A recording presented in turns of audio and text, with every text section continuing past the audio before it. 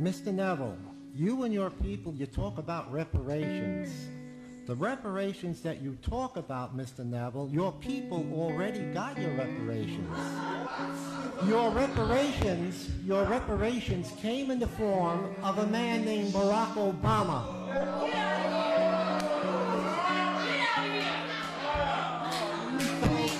Please hold your response. My advice to you, my advice to you, if you don't like it here in America, planes leave every hour from Tampa Airport. Go back to Africa. Go back to Africa. Come back. Side of the Ricks, non-factor. See the real enemy, non-factor.